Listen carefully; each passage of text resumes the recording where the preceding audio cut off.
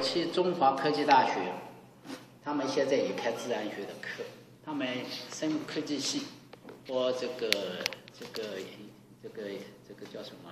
呃，食食品啊，营养营养学系，这些学生们他们快毕业了。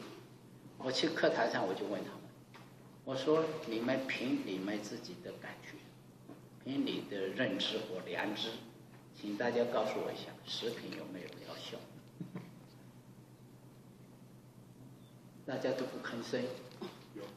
啊，我说有的人举手，无的人举手，我最后表态了。我说举不举手都不重要，表态一下。那最后呢，三三两两有人举手。那举手的人我就请教他，食品为什么会有疗效？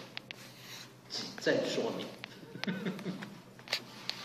食品没有疗效，举证明。你从这种角度跟他们讨论的时候，就搞清楚，都对。你从哪个角度讲？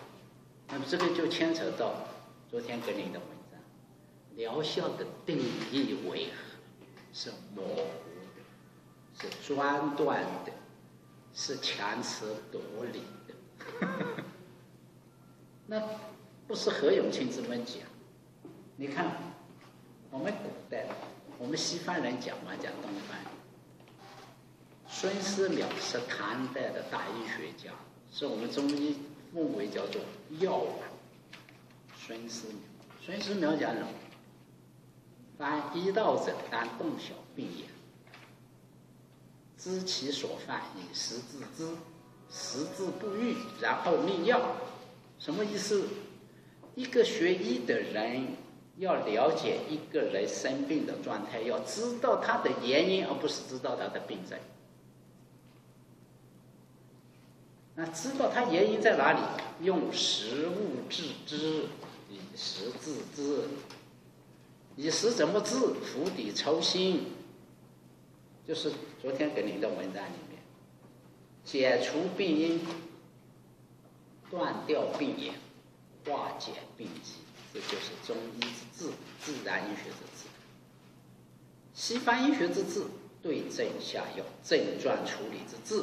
此字分彼字，此聊分彼聊，此笑分彼笑，就那么很清楚。所以它其实是两个学派，两个不同的手段，两种不同的机转，两种不同的效应，不可混为一谈。这个大原则大家抓住，你才站得住脚。好，今天我们用的任何方法。是不是真的消除了病因？是不是真的断除了病源？是不是化解了危机？化解了病机？我们心里要有把持。如果它是对的，理论是清楚的，手段也是理论跟实践是吻合的，它的效果就是指日可待。再有个，当然也有病人的因素，因为他看到你。只是几个小时，一个小时，他回去是不是照着这个做？这就他的因素。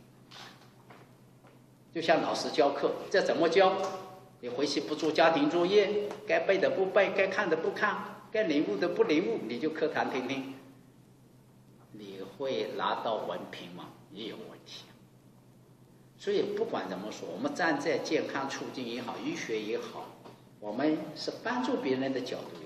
我们要尽我们的本分，就这个道理。那这些本分，我们是清楚的、笃定的、不含糊的、客观的，不是卖瓜说瓜甜，这非常重要。所以各位啊，自然医学促进的这一个领域，就是跟当医生是一个样子，就是刚才上面讲的，五世纪以前，中国医学里面就有十医，我们说清楚一点。我们扮演的在某个层面上就是十一的角色，只是碍于现在的法规法令的规范是不被认同的，是如此。但是它是客观存在的，它是客观的事实，它也是人情的需要。那怎么办呢？上有政策就下有对策了，换个说法，说清楚就这样了。北京中医药大学的教授钱超成钱教授，他有那么一段话，他说以灵芝为例，灵芝大家都不陌生啊，跟我打交道的人，跟我认识的人，不认识灵芝，那是我要闭门思过的。他说就灵芝而言，你把它定义成药品或者是食品。他说，在本质上没有什么不同，大家来理解。我说的最简单例子，这个叫做什么？这叫 water，发音不同，字也不同。中国人叫水，书法也不同，发音也不同，但是本质就是水啊，就是 H2O 啊。H2O，你只不过是化学成分的表达，元素的表达。反正它就是这个东西。人类给它一个名词，不会因为你给它的名词不同，它变成两种物质，不是嘛？就这个道理嘛，好吧？所以呢，人法地，地法天，天法道，道法自然。什么叫道法自然？不会因为人的定义而事事的本质而变成两个样。宇宙、大自然不是不是为人类而存在，大家要搞清楚，人类是在大自然当中孕育出来的一种生物，只是这种生物很搞怪，什么花样都会玩，就是这样而已啊。那最后呢，还人定胜天啊，那是过去讲的话，现在不敢讲这种话，现在慢慢的回归到什么？人类自大了一阵子。发现自大了一点就错了，那怎么办？现在都纷纷开始走走什么路呢？回归自然。好了，讲到这里，你要谈医学，谈自然疗法，不管你哪门哪派，你必须要了解生命的本质。以前我都讲过，请大家务必要记住，你跟任何人谈，包括老百姓、跟医学界、跟专家，没有两句话。生命的本质。跟各位的学问一点关系都没有。生命的本质是什么？生命的现象，生命的现象，物质、能量、信息，在一定时空中有序的、动态的和合表现，就那么简单。你跟任何人讲，错不了。所以你要去改变它，它就是一个有序的，它是本来就是这样子的。还有注意看，信息调控的物质，信息调控整合的物质，能量并以能量互动互换，而生命的本质的特征是自我复制、自我更新、自我调节的统一体。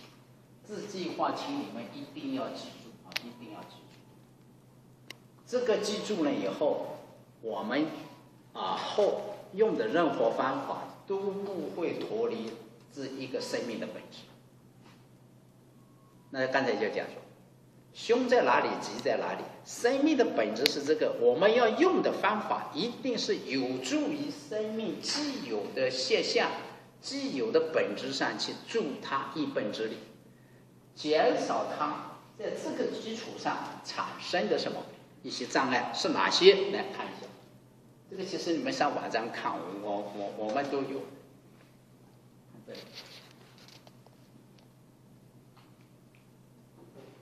来，看这边，什么叫动机？生命刚才谈到的物质层次、能量层次、信息层次。西方医学偏重在物质层次，不完整，所以它是一个不完整医学，它是个物质医学。有人把它形容，它是一个基建医学。我们不谈它对还错，就它在物质层次上是了不起的，能量层次上已经它取了一部分不完整，信息层次几乎交了百件。信息层次在哪个层面上有有用的？它不是把它割裂的，就是心理辅导啦、心理医师了、心理咨商了，多少呢？在信息层面上。是发生一些作用，你也不能说它没有，但是它是分科、分科分类。万物都在动，大家都知道，宇宙万物连这个桌子都在动。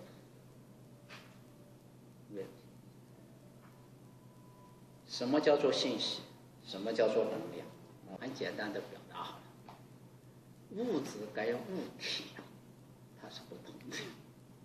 物质跟物体差别在哪里？我们物质层次、物体层次，我们经常物质跟物体啊会混在一起。流动的、进行的、动态的，叫做物质；病态的状态叫物体。那那个动态的那个过程产生的那个波动，叫做能量。所以它根本就是一回事，只是不同的表达。但是你最起码要了解。一样的东西理解，它是可以这样来理解的。那你就知道我今天要用的手段，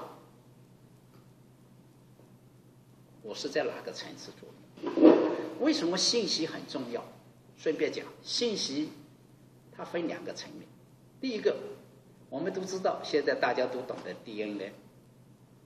任何物种，只要是个生命，它必然有内在的信息编码。内在，这个跟人没有关系，本来就存在的。一颗种子，一片树叶，一个番茄，一个蚂蚁，一个大象，一个人，一只老鼠，它本来就存在的那样的一个信息资料库。信息调控，为什么我跟你们解释？为什么信息调控了能量与物质？因为这些能量物质都是材料。都是物质，说清楚一点，最小都是元素。我们的科学都知道，任何东西都由分子、电子、原子这样组成的。这些东西的不同的排列组合，就产生不同的物质。而这些物质它怎么会去排列组合？它凭什么？凭信息编码。再说简单一点，信息就是一个建筑工地的蓝图。物质就是砖块、钢筋、水泥、瓷砖、建筑材料，物质。什么叫做能量？它要动，这些东西它怎么动，就有个过程，这些过程就是那些波动。信息是蓝图，所以呢，这个能量呢，就类似什么呢？就类似建筑工人，以及砖块、瓦砖、砖块、水泥，你要有人去组合它。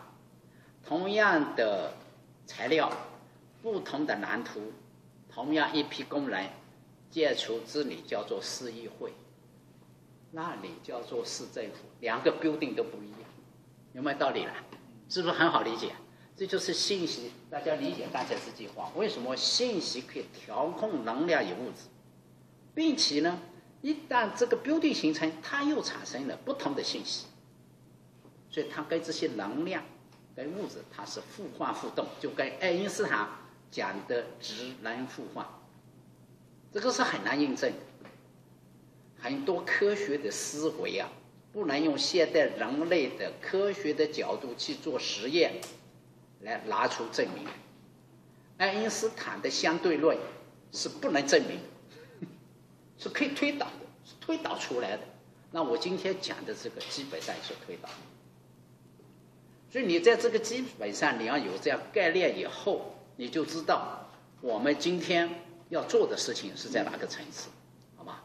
哪个层次，你就不会瞎说，你就知道为什么晒晒太阳有用，你为什么说哎练练气功导引有用，拍打下经络有用，你就知道我这个有用是用在哪里，你也就知道说我的用处不会以偏概全。